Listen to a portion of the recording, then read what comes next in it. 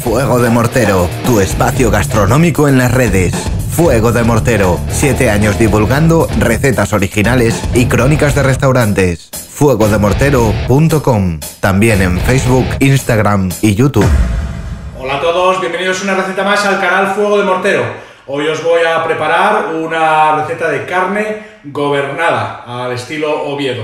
Bueno, es un plato típico que se consume durante la Feria de la Ascensión dentro del menú.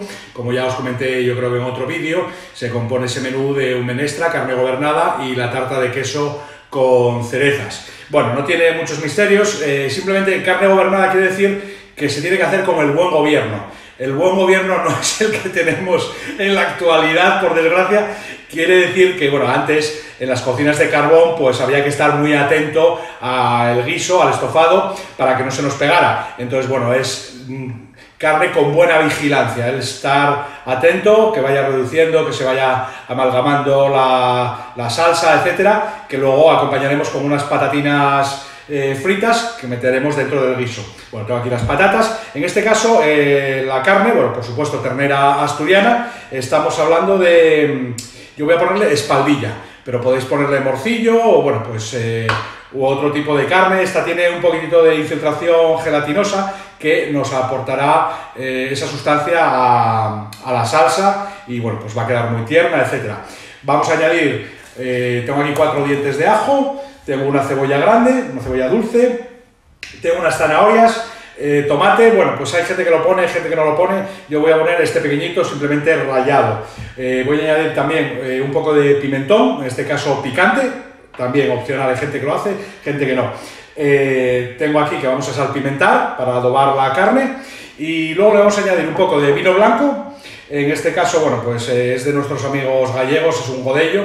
Eh, pues bueno, para seguir con la asturianía podríamos poner un vino de denominación de origen de Cangas. Eh, de vino blanco. Y luego le voy a añadir también un poco de caldo. Eh, en este caso es súper interesante que sea un caldo potente, un caldo rico. Es un caldo oscuro que tengo hecho con verduras. Ya sabéis, ponemos las verduras, los huesos, etcétera, horneamos cuando tuesten, cubrimos con agua y es este caldo que viene a ser como medio litro. Esto nos va a ayudar a que, pues bueno, mucho mejor que agua y mucho mejor que la pastilla de, que todos conocemos. Y sin más, lo que voy a poner a hacer es adobar la carne e ir preparando la mise en place de las verduritas. Por un lado, la carne lo que vamos a hacer es cortarla en trocitos más o menos así, no unos trozos demasiado grandes. Y bueno, acabo de picar aquí en fina brunoise dos dientes de ajo. Los otros dos dientes de ajo lo que voy a hacer es cortarlos a grosso modo y los vamos a poner en un mortero con un pellizquito de sal pellizco de sal para ayudar, ya sabéis, a machacar. Por otro lado, voy a coger la pimienta, en vez de molerla así directamente, lo que voy a hacer es machacarla en el mortero. Y una vez que esté esto machacado, voy a añadirle eh, un poquitito de aceite de oliva, un poquitito del vino blanco y todo este majado lo vamos a mezclar con, con la carne que vamos a tener, eh, pues que vaya cogiendo los sabores durante una hora. Esto ayudará a que penetren más los sabores, que esté la carne, pues bueno, al final es añadir, añadir sabor. Y bueno, este tipo de majadas pues es estupenda para, echaremos un poquitito de aceite, para estas cosas. Pues aquí tenemos el majado y ahora lo vamos a verter sobre la carne.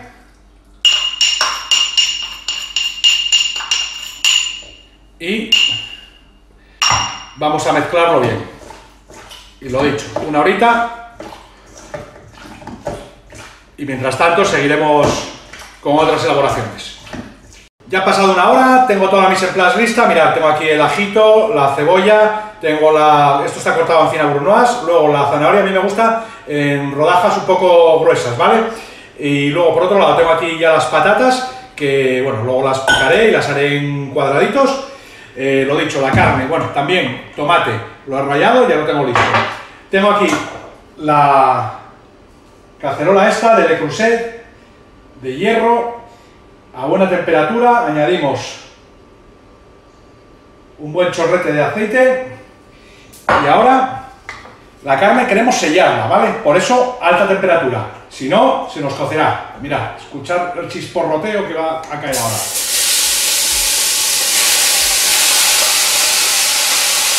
Simplemente queremos sellar la carne, que se selle por todos los sitios. Y están picando ya para comer. La carne ya la tengo bien sellada y ahora lo que vamos a hacer es ponerla fuera de la, de la cacerola con sus juguitos.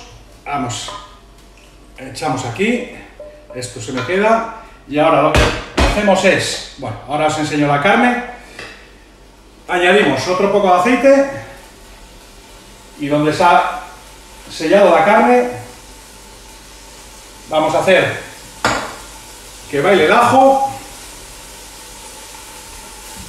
como está muy caliente, esto es un pispás, ahí está, y añadiremos la cebolla. Y mientras tanto, la zanahoria que va rodando y perdiéndose por el camino. Ahí está. Bueno. Ahora voy a bajar un poquito el fuego y que se vaya pochando con, con tranquilidad. Cuando esté la cebolla un poco sudada, añadiremos la zanahoria. Os acerco aquí las elaboraciones. Mira, esta es la carne. Aquí tengo el tomate que lo voy a incorporar porque esto ya está.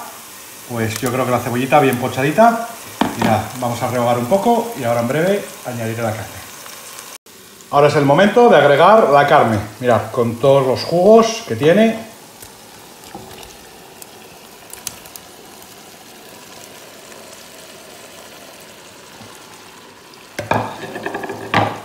Perdón por pasar eso por delante. Mirad, vamos aquí. Vamos a mezclar un poquitito. Y ahora añadiremos el pimentón. Le damos unas sacudidas al pimentón tampoco nos vamos a pasar. Pimentón, ya sabéis, de la vera, buenos pimentones. Y rehogamos. Que no se nos queme el pimentón, fundamental. Esto le da un poquitito de color y también, por supuesto, sabor. Máxima potencia y chorrete de vino. Así. Dejamos que evapore el alcohol y en breve el cal. He bajado a una temperatura de, bueno, tengo el 3 de 10. Mirad, ya es que se ha formado ahí una salsita y ahora simplemente vamos a echar el fondo oscuro, taparemos y dejaremos al buen gobierno. Ya sabéis, despacito, al chup chup, y pues bueno, esto llevará una hora y media tranquilamente. Dependiendo de jugando con el fuego, pues bueno, se nos va más o menos en el tiempo. Simplemente comprobar el punto de la carne. La carne lleva con buen gobierno una hora y tres cuartos. Ahora os enseño. Tengo aquí las patatas cortadas en cuadraditos con su sal y, y ahora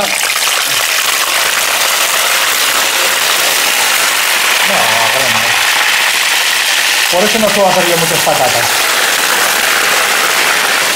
Se pone todo perdido.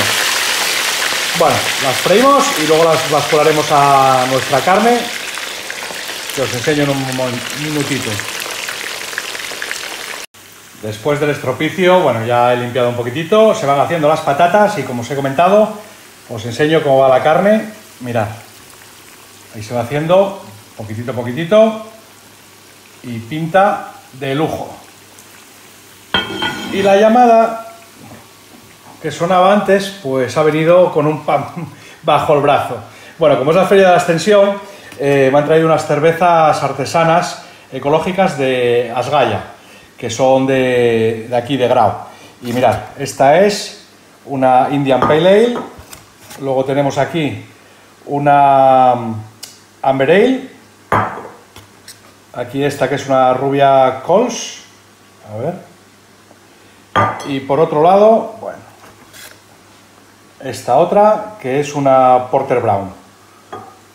Ya sabéis que me gustan mucho las cervezas y si son artesanas, mucho más.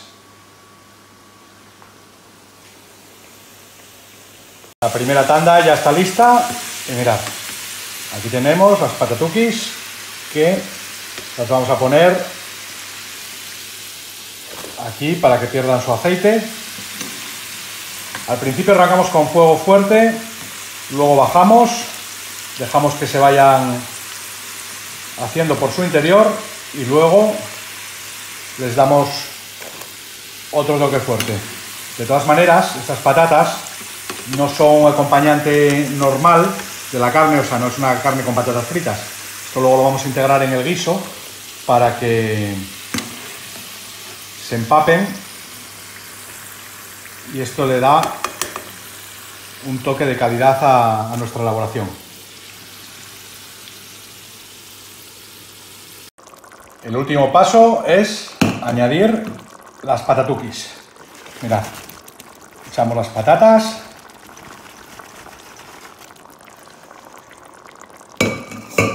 Y han de integrarse durante unos 10-15 minutos. Y ya tendremos nuestra carne gobernada lista para servir. Tras 10 minutos integrándose las patatinas, absorbiendo esa rica salsa, este es el resultado final, ya emplatado. Mirad, los trocitos, como veis, que no son muy grandes, las patatas que tienen su estructura y han absorbido esa salsa, la zanahoria enterita y bueno, pues ya veis, solo queda el pan para mojar y yo creo que he realizado un buen gobierno y me ha quedado estupenda la receta. Si os ha gustado, ya sabéis, le dais al dedito y si no estáis suscritos al canal, recordad suscribirse. Nos vemos en próximas recetas de fuego de mortero, tradicionales como esta, de carne gobernada al estilo Viedo o vanguardistas, según me dé la venada.